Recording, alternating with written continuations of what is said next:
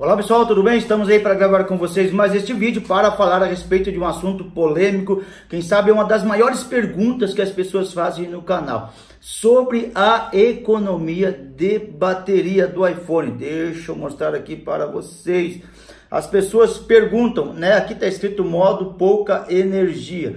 Mas pessoas perguntam: estraga o iPhone eu ficar usando direto o modo de pouca bateria? A partir de quantos por cento eu posso ativar? É, em o que reflete desempenho e etc. no meu aparelho, eu ativando a economia de bateria. Então eu quero falar com vocês um pouco a respeito deste assunto. Nós sabemos que esse recurso foi implementado a partir do iOS 9, que penso eu, posso estar errado, que até o iOS 10 esse recurso de economia de bateria funcionou muito bem. Eu usava muito e chegava a me dar até 3 horas de bateria a mais. No iOS 11 já não gostei do desempenho, penso que caiu pelo menos pela metade, base uma hora e meia a mais de bateria. No iOS 12 eu ainda não testei a economia de bateria. Então o que acontece?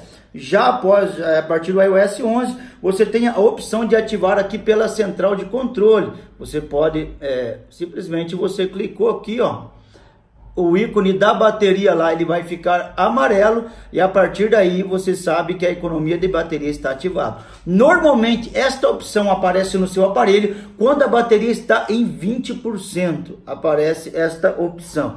Então, primeira pergunta, eu posso ativar somente a partir de 20%? A resposta é não. Você pode ativar desde 100% o seu iPhone. Ele vai estragar o meu iPhone? A resposta também é não vai estragar o seu iPhone. Então, o que acontece quando eu ativo a economia de bateria no meu iPhone? Primeira coisa, o brilho de tela, vou mostrar aqui para vocês, vamos lá por passo. O brilho de tela, tá vendo ali, ó, brilho automático 30 segundos. Automaticamente o brilho de tela fica ativado para 30 segundos e você não consegue alterar, tá? Você não tem opção de alterar. É a primeira coisa que acontece. Segunda, a tela perde um pouco do brilho. Outra coisa que acontece também é que o, app de e-mails, você vai ver que você só vai ver um novo e-mail que chegar quando você abrir o app. Atualização em segundo plano, está vendo, ó? Com a economia de bateria desligada, eu desliguei a economia de bateria, pode ver que voltou a ficar preto lá.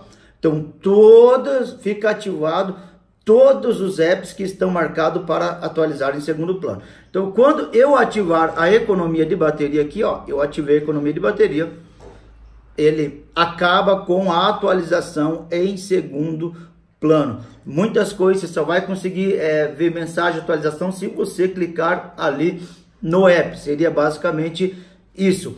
É outra coisa também que acontece quando você ativa a economia de bateria, por exemplo, se você está carregando fotos em segundo plano, fototeca ou algum outro arquivo, ele vai parar de carregar este arquivo, vai parar essa atualização ou este upload aí de fotos que você está fazendo. Então, você tem que ter a consciência também de que isto vai acontecer.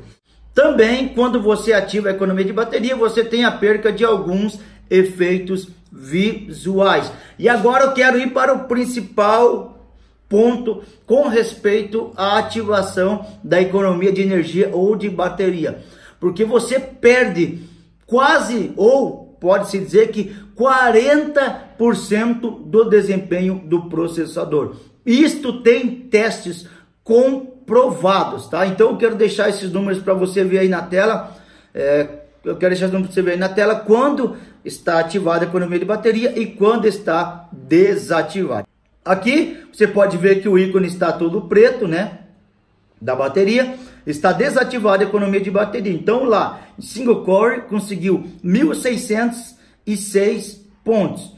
Em multicore 2.891 pontos. Esse é um teste, tá?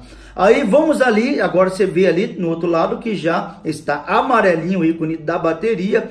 Então é, está ativado a economia. Então olha o que ele fez em single core, 1.019 pontos. Olha como caiu. E em multicore 1.751 pontos. Então você vê a queda drástica que dá no desempenho do processador. Então esses são os reflexos no seu aparelho. Então, resumindo, não estraga. Se você quiser usar desde 100%, não vai estragar a bateria e não vai estragar seu aparelho. Você pode usar sem problema algum, sabendo que o seu aparelho vai ter essas restrições no uso, tá certo? Se você gostou desse vídeo, deixe seu like, se inscreve no canal se não é inscrito, nos segue nas redes sociais. E se hoje não foi bom, amanhã vai ser muito melhor. Deus abençoe a todos, fiquem com Deus.